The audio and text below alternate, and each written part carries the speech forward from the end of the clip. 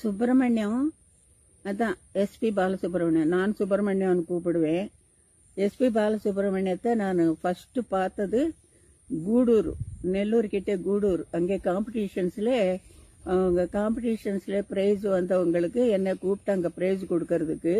ஜெயிச்சவங்களுக்கு price கொடுக்கணும்னு சொல்லி என்னை கூப்பிட்டாங்க. நான் போய் ப்ரைஸ் டிஸ்ட்ரிபியூஷன் பண்ணேன். அப்போது பாடி பாலசுப்ரமணியம் ச- ஒரு பாட்டு பாடினார். ரொம்ப பிரமாதமாக இருந்தது.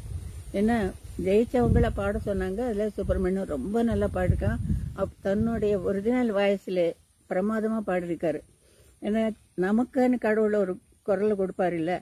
அந்த குரல்ல அவர் ஒப்பு ஒருத்தரை இமிட்டேட் பண்ணாமே தன்னுடைய குரல்ல ஒரிஜினல் வாய்ஸில் ரொம்ப பிரமாதமாக நல்ல பாட்டு இது. அந்த பாட்டு கூட ரொம்ப நல்லா இருக்குது ரொம்ப நல்லா பாடினாரு. அப்போ நான் சொன்னேன் ரொம்ப நல்லா பாடுறே கண்ணா நீ சினிமால பாடினா ரொம்ப முன்னுக்கு வர பிரமாதமா வருவேன்னு சொன்னேன். சொல்லி ஆசீர்வாதம் பண்ணி நமஸ்காரம் பண்ணா. அப்புறம் நாங்கள் மெட்ராஸில் மீட் பண்ணோம். மெட்ராஸில் வந்தான் பாடுறதுக்கு. அப்போலேருந்து எல்லா ஸ்டேஜ் மேலே எல்லா இடத்துலையும் இந்த விஷயம் சொல்லிகிட்டே இருப்போம். ஜானிகம்மா சொன்னாங்க நான் முன்னுக்கு வந்தேன். ஜானிகம்மா ஆசீர்வாதத்துல வந்தேன்.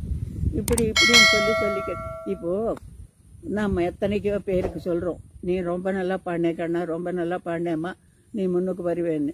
எல்லாரும் வர்றாங்களா? அந்த பையனுக்கு டேலண்ட் இருக்குது ஒரு விதமான ஆசீர்வாதம் கடவுள் ஆசீர்வாதம் இருக்குது டேலண்ட் இருக்குது அதிருஷ்டம் இருக்குது அதோட சேர்ந்து. அதனாலே முன்னுக்கு வந்தான் நான் சொல்கிறது என்ன இருக்குது நான் ஆசீர்வாதம் பண்ணேன் சாதாரணமாக அவ்வளோதான் ஆனாலும் சொல்லிகிட்டே இருப்பார் அது ஒரு கௌரவமாக நாங்க மெட்ராஸ் வந்ததுலேருந்து பையன் மெட்ராஸ் வந்ததுலேருந்து நாங்கள் நாங்க சேர்ந்து பாடிட்டு இருக்கோம் டுவேட்ஸ் எத்தனை பாட்டு பாடினோம்னா கணக்கே இல்லை. அது எவ்ரிடே மீட் பண்றோம். ஆல்மோஸ்ட் எவ்ரிடே மீட் பண்றோம் ரெக்கார்டிங் ஒவ்வொரு பாஷை இல்லைன்னா இன்னொரு பாஷை ரெக்கார்டிங் நடந்துட்டே இருக்கும். எத்தனை சாங்ஸ் பாடினோம் கணக்கே இல்லை. அப்படியே ரெக்கார்டிங்கில் நாங்கள் சண்டை போட்டுக்கிறோம் திரும்பி சேருவோம். அப்புறம் சண்டை பாட்டோட நாங்கள் மியூசிக்கோட விளையாடுவோம் அப்படி. மியூசிக்கோட விளையாடுவோம். விளையாடுவோம். அப்புறம் போட்டி போட்டு பாடுவோம் ஒருத்தர் ஒருத்தர். நீ நல்லா பாடுறியா நான் நல்லா பாடுறேன். போட்டி போட்டு பாடிட்டே இருப்போம். அந்த மாதிரி எத்தனையோ டியூட்ஸ் எத்தனையோ டியூட்ஸ் ஒவ்வொரு லாங்குவேஜ்லேயும் ஃபர்ஸ்ட் கிளாஸாக பாடிருக்கோம். அப்புறம் ஒரு வாட்டி என்னாச்சு ரீசெண்டாக ஒரு மூணு மாதம் முன்னாடி மைசூர் வந்தார். ஒரு மைசூரில் அவர் ப்ரோக்ராம் இருக்குன்னு சொல்லி மைசூர் வந்தார் பாட்டு கச்சேரிக்கு. வந்தப்போ முதல் நாள் சாயங்காலம் எங்கள் வீட்டுக்கு வந்தார். நான் மைசூரில் தானே இருக்கேன் இப்போ இன்னும் எங்கள் வீட்டுக்கு வந்து என்னோட எங்கள் பையனோட ரொம்ப நல்ல ந- பேசி ரொம்ப நேரம் பேசி அவர் செல்லில் பாட்டெல்லாம் கேட்க வச்சு எங்கள் வீட்டில் சாப்பிட்டு மொள்ளமாக நிதானமாக போனார். இப்போது ஒரு விஷயம் என்னன்னா நான் கடைசி ப்ரோக்ராம் மைசூரில் பண்ணேன். அவர் கூட கடைசி ப்ரோக்ராம் மைசூரில் பண்ணார். இதுக்கப்புறம் அவர் கச்சேரி எங்கே பண்ணாரு? பண்ணவே இல்லை. இப்போ நான் மியூசிக் பண்ணதில்ல. அவர் பண்ணார் அவர் மியூசிக் பண்ணது. ச- படங்கள்ல எத்தனை படங்கள் பண்ணியிருக்காரு அவர்?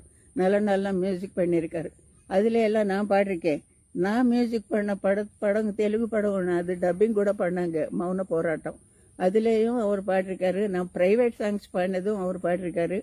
இப்படி நாங்கள் ஆல்மோஸ்ட் நாங்கள் கல சேர்ந்துட்டே இருப்போம் நாட்டு ஒரு சிங்கரு ஒரு கோ சிங்கர்னு எல்லாமே ஃப்ரெண்ட்லியாக இருப்போம். நாங்கள் ஃப்ரெண்ட்ஸு ஆக்சுவலாக ஒரு வீட்டில் எங்கள் வீட்டில் ஒரு மனுஷன் போலே தான் அந்த மாதிரி இருந்தோம்.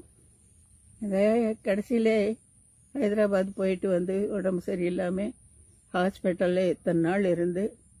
ஃபிஃப்டி ஒன் டேஸ் என்னமோ ஹாஸ்பிட்டலில் இருந்து கஷ்டப்பட்டு எவ்வளோ கஷ்டப்பட்டானோ குழந்தை பாவம். கடைசியிலே நம்மளையெல்லாம் விட்டுட்டு போயிட்டான். இன்னும் வருவா இன்னும் வருவா இன்னும் சரியாகும்னு எதிர்பார்த்தோம்.